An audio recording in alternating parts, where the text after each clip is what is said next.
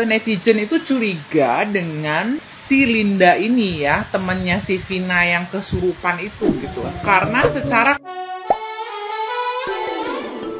Hola netizen yang tercinta. Linda, salah satu sahabat dekat Vina Cirebon mulai diburu netizen yang budiman. Pasalnya, Linda dianggap sebagai salah satu saksi kunci dari kasus Vina Cirebon. Apalagi, Linda merupakan sahabat yang sempat dirasuki oleh arwah Vina Cirebon Berkenaan dengan itu justru muncul lagi ungkapan yang menyebut Linda terlibat dengan kasus tersebut Bahkan, banyak yang menyebut kehilangan kabar Linda menyimpan banyak misteri Mendapat namanya yang terus terseret akhirnya muncul akun yang diduga sebagai Linda dengan menjelaskan kejadian. Ia mengaku sangat ingin memberikan klarifikasi, tapi belum menemukan waktu yang pas. Ia mengaku tidak terlibat dengan kasus yang menimpa sahabatnya itu, tapi belum bisa buka suara karena merasa terancam. Sahabat Vina Cirebon ini mengaku takut buka suara lantaran khawatir akan adanya film Vina Part 2 yang tentunya diduga akan semakin banyak adegan tambahan. Menurut wanita yang mengaku Linda, saat ini dirinya tengah mendapat ancaman dari seseorang. Bahkan, sutradara film tersebut belum pernah menemui Linda saat membuat film terkait kisah Vina Cirebon. Meskipun begitu, secara tidak langsung sahabat Vina ini membantah dirinya turut terlibat menjadi bagian dari tersangka kasus Vina Cirebon. Nah, gimana nih menurut netizen yang terhormat? Silahkan berkomentar ya. Nah ngomongin soal kerasukan Sobat Cerita Kalau kalian ngecek podcast dari Bang Denny Sumargo Atau podcastnya Densu yang memang mengundang ya Orang tua dari Vina termasuk kakaknya Jadi mereka sempat menceritakan Bahwa setelah kerasukan pertama Vina ini merasuki Linda untuk yang kedua kali. Di situ keluarganya itu percaya bahwa memang yang merasuki Linda Itu adalah korin atau jin atau apa pun itu dari Vina Karena ibunya ngerasa merasa itu adalah suara anaknya, itu adalah suara dari Vina. Saat kerasukan tersebut, Vina itu menginginkan pembunuh dirinya dan juga Eki itu ditangkap. Karena banyak cerita yang beredar kalau pembunuh Eki dan Vina itu kabur ke luar negeri. Padahal enggak, ternyata menurut penuturan arwah yang merasuki Linda, pelaku itu kabur ke Jakarta. Sebenarnya dari kasus Vina ini, selain kriminalitas, juga ada unsur mistisnya. Percaya nggak percaya, karena setelah kerasukan Vina yang pertama, akhirnya pihak kepolisian itu kembali membongkar makam Vina Vina dan juga Eki dan melakukan otopsi dan ternyata benar mereka itu tidak meninggoy karena kecelakaan melainkan dibun-bun oleh geng motor. Kita doakan aja semoga kasus Vina ini cepat menemukan titik terang dan tiga DPO yang sekarang dicari cepat ditemukan. Sosok wanita yang notabene adalah sahabat korban menghilang dari peredaran pasca peristiwa itu terjadi dengan alasan trauma dan tertekan. Ya, seperti itu kan informasinya. Seseorang yang mengalami trauma biasanya karena melakukan sesuatu atau karena melihat sesuatu. Itulah alasannya, karena segala sesuatu ada faktor sebab dan akibat. Tentunya dengan alasan seperti yang disampaikan kawan. Ingat, trauma disebabkan karena melakukan sesuatu atau melihat sesuatu. Dan seseorang yang merasa tertekan atas kondisi tertentu sama halnya seperti seseorang yang trauma karena melakukan sesuatu yang menyebabkan sesuatu atau melihat sesuatu yang menyebabkan suatu kondisi. Ingat itu baik-baik.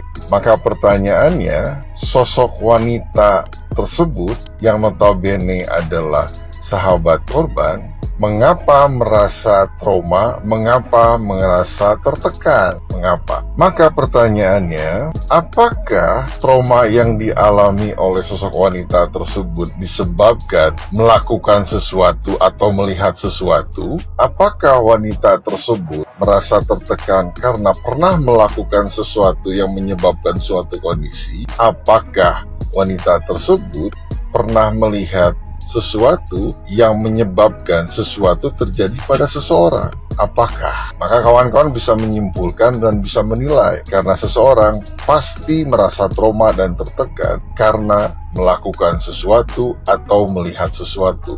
Tidak mungkin seseorang merasa trauma dan tertekan tanpa sebab. Tidak mungkin kawan. Memang Seseorang mengalami trauma atau tertekan tidak butuh alasan, namun selalu memiliki faktor sebab. Oke, okay?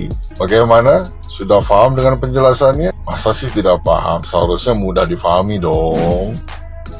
Tapi di podcastnya Denny Sumargo ya, si kakaknya si Vina dan juga orang tuanya Vina itu bilang bahwa satu pelaku itu sudah dibebaskan karena di bawah umur. Entah juga itu anak siapa juga gitu ya. Apakah anak petinggi juga gitu kan ya. Sehingga e, di bawah karena di bawah umur ja, jadi nggak dihukum seumur hidup gitu. Sedangkan 8 lainnya itu dihukum seumur hidup gitu. Nah ada teori konspirasi ya guys ya. Kalian mungkin sebagian dari kalian mungkin sudah pada tahu ya. Yang sudah sudah pada melihat boleh tinggalkan di kolom komentar ya. Kemarin aku scrolling scrolling kasusnya si Vina ada teori konspirasi tuh yang bilang kayak gini guys ya. Menurut kalian make sense gak gitu ya? Mereka tuh e, netizen itu curiga dengan si Linda ini ya temennya si Vina yang kesurupan itu gitu. Karena secara katanya ada satu akun yang bernama Laura apa gitu ya yang juga suaminya itu Prima apa gitu ya katanya ya. Nah ada netizen yang bilang bahwa si Prima itu yang namanya Prima itu itu adalah si Egi ya yang sudah ganti nama dan ganti akun gitu. Dan si Linda ini menikah dengan si Prima gitu. Masuk akal nggak sih guys menurut kalian ya? Temennya si Vina yang kesurupan itu yang menjadi kunci dari terbongkarnya kasus Vina ini ternyata ambil bagian di dalam kasus ini ya. Entah apakah dia itu cemburu apa dia menaruh hati gitu ya dengan si Egi ini dan dia tuh jealous gitu ya kok si Egi ini lebih menyukai si Vina ketimbang dirinya gitu ya. Sehingga dia ikut andil gitu. Entahlah itu masih hanya sekedar asumsi dan teori konspirasi yang beredar di dunia maya ya. Nah jadi eh, kasus ini nih benar-benar membuat seluruh rakyat Indonesia, seluruh netizen Indonesia itu keluar tuh ya, keluar skill jadi detektifnya gitu ya, skill gibah dan skill detektif kita tuh langsung kayak terpanggil untuk dikeluarkan gitu. Jadi ya guys ya, tapi menurut aku ya guys, menurut aku ini pendapat aku sih ya, si Linda itu apa mungkin ya, apa mungkin menikah dengan Egi gitu atau termasuk salah satu dari pelaku? Kayaknya sih enggak lah ya, karena kan si Vina pada saat dia ditanya ada berapa pelaku dia mengatakan ada 12 artinya 12 orang itu yang ada di TKP yang ikut memukuli dan memper jadi jadi tidak mungkin Linda salah satu dari 12 orang yang mem memukuli atau mem dia gitu kan ya menggilir dia ya kan? Pasti yang dimaksud 12 orang saat Vina kesurupan itu ya pasti cowok semua gitu. Menurut aku mah lebih masuk akal bahwa uh, seperti di podcastnya Denny Sumargo ya bahwa satu orang yang dimaksud sudah bebas ya yang yang sudah bebas itu anak di bawah umur gitu ya. Mungkin satu angkatan dengan si Vina dan si Egi ini gitu. Eh si Eki ya si Rizky atau Eki ya kekasihnya si Vina yang juga ikut dihabisi pada malam itu gitu Nah, gitu ya guys ya.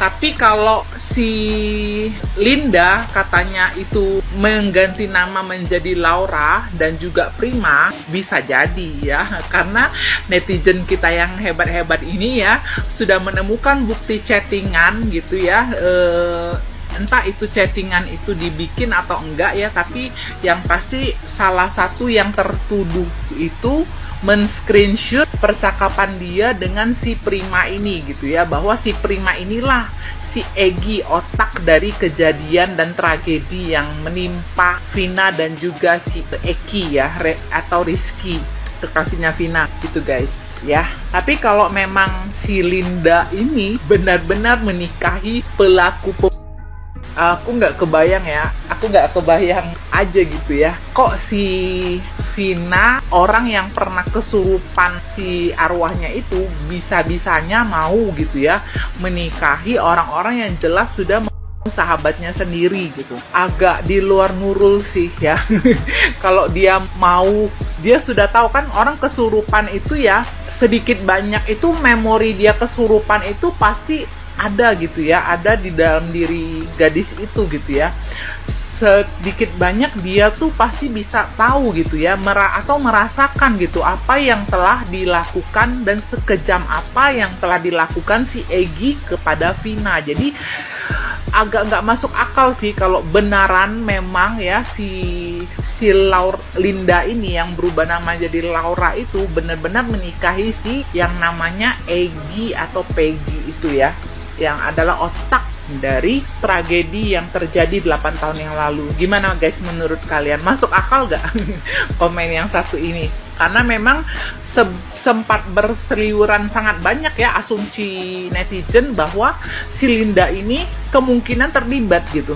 Kalau dia kemungkinan terlibatnya itu hanya sekedar memberitahu si Vina dan si Eki akan ke mana? Ah itu aku mungkin masih masuk akal ya. Tapi kalau sampai dia ikut di kejadian itu atau termasuk satu dari kedua belas orang itu menurut aku sih tidak ya. Karena dia secara seorang wanita gitu kan ya. Kan di pas ditanya itu kan siapa yang melakukan itu? Siapa yang menggilir dia gitu? Memper dia ada 12 orang which is itu pasti seorang uh, eh, 12 orang ini adalah laki-laki semua. Nggak mungkin ada satu wanita nyelip di situ gitu ya. Itu sih guys terkait dengan komentar ini. Gimana guys menurut kalian? Apa kalian menemukan bukti-bukti lain yang perlu kita bahas guys ya? Boleh tinggalkan di kolom komentar kalau kalian menemukan sesuatu atau mengetahui sesuatu. Semoga kasus ini segera terungkap ya. Gitu aja ya terkait komentar ini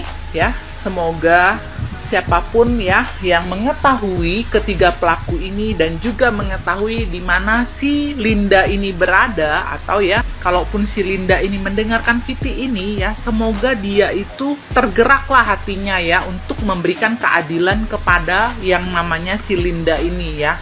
Kalau 8 tahun lalu mungkin dia diancam-ancam gitu ya semoga dia sudah cukup dewasa untuk tidak takut lagi akan segala ancaman yang mungkin dia terima 8 tahun lalu oleh keluarga Eki atau keluarga ketiga buron yang masih belum ditangkap ya, masih belum diproses ya. Entah tidak diproses atau memang belum diproses ya. Mari kita pantau terus kasus ini ya. Semoga ada keadilan buat Vina. Thank you for watching and God bless you.